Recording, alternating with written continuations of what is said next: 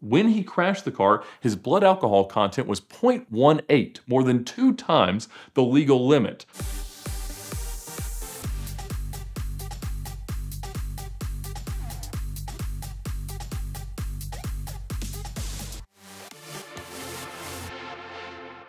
My strategy of car ownership is to buy the worst examples of the coolest cars. And I've been very public about that. If you talk to John Temerian or John Ficar, they'll say that you should buy the nicest car that you can afford. And that is not at all the right way to do it. When you buy the worst car, it's actually a lot easier than it should be to get it for far less than the next cheapest car. But it's also pretty easy if you sell it the right way to get just a little bit less than the cheapest car.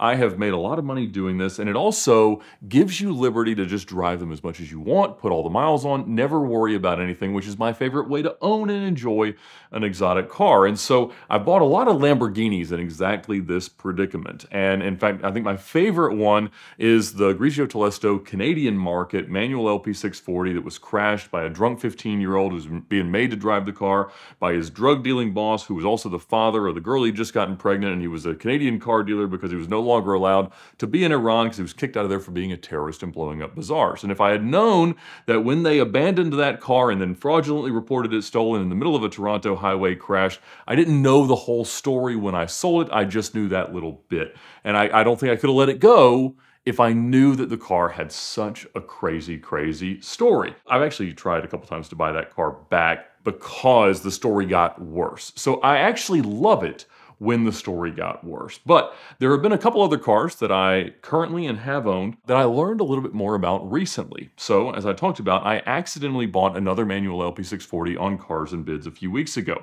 And I went up to Brooklyn, New York to pick the car up and I drove it back literally less than 24 hours before I got on a plane to go to Car Week and then went on the SWAE adventure up to Alaska. But that car was owned by a guy named Ray, who is a member of a large car club in New York City and in the New Jersey area called the Driving Force Club. Now, years prior, I knew that there were some photos of my black LP640 Roadster in Driving Force Club Instagram posts. And so I talked to some of the guys that had done their events. There's a guy named Hovik that organizes a lot of them. And it's kind of disbanded at this point. A lot of these guys have gotten older, a little bit more responsible, but these were some proper insane drives that they used to go on. And I knew years ago that the roughest example of a manual LP640 Roadster was this Driving Force Club car. In going up there, meeting Ray in person, even though I've known him for several years because he owned the Monterey Blue one of one manual LP640 coupe in the US, I got to know him a little more and he told me about some of these Driving Force Club events. And in fact, the accident that totaled my red Lamborghini Murcielago LP67 DSV was on a Driving Force Club drive. It was in fact one that Ray had not attended because they, uh, I guess he was busy that day or whatever. But you also have to understand that these drives were happening 10, 15 years ago at a time when Lamborghini owners were less normal. Prior to now, they were much more rare, much more obscure, and they were generally owned by much stranger people. So you go back to Miura's and Countach's, almost all of the owners were ridiculous gold chain wearing pet alligator kind of guys. Now it's just me in that kind of circumstance. But so as Lamborghini owners have gotten more normal, people forget that they all lived really, really crazy lives. And so the guy who in fact crashed the Red SV was really distraught about it. He's kind of replicated that car in rebodying SV style, an LP640. And uh, actually, I think they were the ones that might have taken the seats and the rear wing and all the, th and the badges and things that complicated my ownership a little bit of this car, but also were the reason why I eventually found access to it. And so uh, one of them maybe tried to sell me back the parts they had taken off of the car a couple of years ago. But regardless, it was interesting to know that that's exactly when it happened.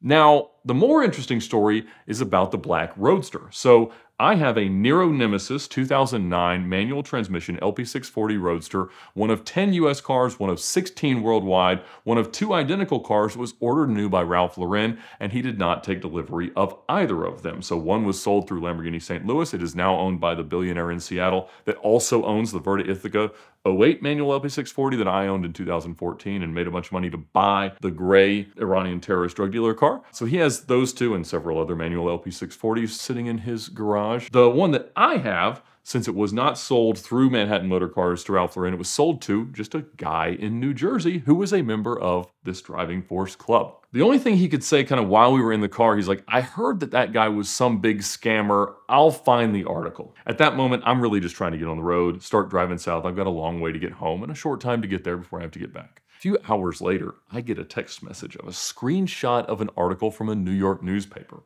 And the headline is essentially that a scam artist had conned a mentally ill elderly person into buying him a $480,000 Lamborghini that he had then crashed while drunk and was at that point not paying the body shop that had repaired the car.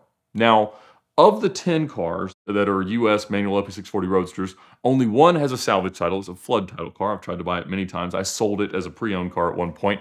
But this is, I really have the worst one. And that was because it also has two accidents on the Carfax. Now, the custom that I understood in buying this car, of its original owner that still had it when I got it was that if he would get into an accident, he would file an insurance claim and use the money to buy cheap aftermarket panels and pocket the rest of the money. And if it didn't uh, kind of amount to enough to file a claim, he would just carry a, around a can of black Rust-Oleum spray paint and just spray paint over the damages. So to this day, almost all of the panels have circles of matte black spray paint on top of matte black factory paint that I have now covered in matte black vinyl to make it look presentable enough for me to drive. Because that's really all I care about. I don't mind all the aero lights on and things that it has. I just want to drive this example of my favorite car. And I really do love the Roadster. I get to sit up straight, look out over the windshield, and let the bugs hit me in the face. It's just a, it's a lovely experience, and I love the car. The accidents that I knew about are on Carfax from 2016 and 2017. I bought the car late in 2021. It actually went through five different dealers that chose not to keep this car. There's a rumor that RM just sold one for literally 10 times what I paid for this car less than two years ago. So anyway, I got a great deal. Everybody else passed on it. We got it through John Temerian It Curated. He was one of the people that got called as it was being wholesaled around. And so I love it. I don't really see any world in which I would have sold it before, but now I know I can't sell it because this just gets even crazier. Because as you read the article, apparently this guy was a contractor and he would scam elderly people into like buying expensive cabinets or something like that, and then he would sell them inexpensive cabinets or whatever. And he was making a lot of money. And at some point, he made somebody pay for this car for him. So I believe that it was actually being sold finally because it was like a judgment in some lawsuit or something like that. And this was reported by a body shop owner who had had the car from like 2011 to 2013. So another accident for $250,000. He was stiffing this guy for the bill. So the body shop owner had complained to the newspaper that his unpaid bill was the responsibility of this scam artist. I guess he's the one who let the cat out of the bag about how the car had originally been acquired and what the story of the car had been. Now, apparently, when he crashed the car, his blood alcohol content was 0.18, more than two times the legal limit. You're not going to get very far. The 15 year old that crashed my gray car didn't get very far that drunk. And this guy, also did not. But $250,000 is a tremendous amount of damage that at that time would have totaled the vehicle. But of course, when you crash a car drunk, your insurance company does not pay. So he was on the hook to pay for it personally. I assume he never did. That did not result in the car changing ownership. I don't know how it got settled. All I know is the story of the car got crazier, which means I like it even more. At the end of the day today, it drives really well. You know, it's definitely had a bunch of panels off and it's, you know, not the tightest Lamborghini that I've had, but it's rare, it's awesome, it's fast, it makes good noises, and uh, I can sit up straight. For a limited time, Gloss-It's best ever DIY ceramic coating deal is back. Last year, too many of you ordered it and it broke his site for a little while. But now, just the first 2,000 of you can get Gloss-It's $150 bottle of graphene ceramic coating for just $69.99 and you get a free $50 bottle of their ceramic detail spray, which makes the application a breeze. So click right now at the link in the description below to get yours.